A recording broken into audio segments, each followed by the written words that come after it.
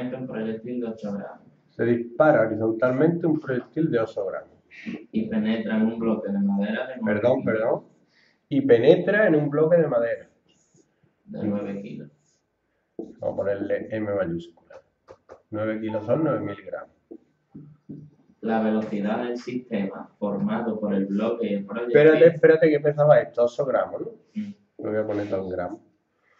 La velocidad del sistema formado por el bloque y el proyectil después del impacto es de 30 centímetros segundo. Calcula la velocidad inicial del proyectil. Bueno, pues esto es un choque inelástico. ¿Por qué? Porque la bala queda dentro de la dentro del bloque.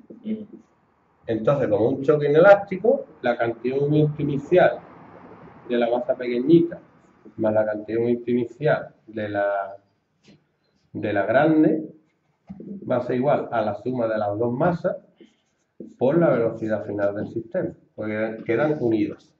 Es decir, masa chica por velocidad de la bala, por velocidad de la masa chica, más masa grande por velocidad de la masa grande, que ya sabemos que va a ser cero porque está quieta, es igual a masa grande más masa chica por la velocidad final. Tenemos. Lo puedo dejar todo siempre que está en la misma unidad. 8 por 30 más 0, porque lo que está aquí al principio es igual a 9008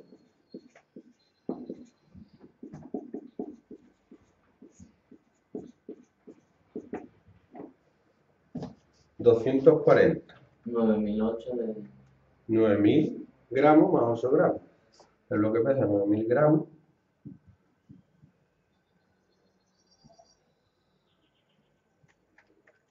porque lleva pasado aquí. Me da igual.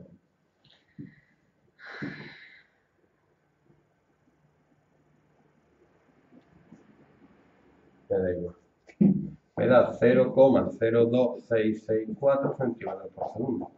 Obviamente la velocidad es mucho menor.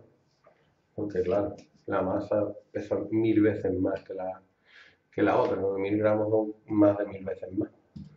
Entonces, y se arrastra un poquito y se para. O sea que eso que veis las películas del tío que le pegan un tiro y hace ¡guau! para atrás, eso no es verdad. Te ¿Vale? a no sé que te den. Sí, no, porque es un software inelástico, claro. Si te entra en el cuerpo, y viene con mucha velocidad, pero es que la masa es muy pequeña. Si es muy grande, sí, te puede tirar para atrás. Pero... Tenía que ser grandecito.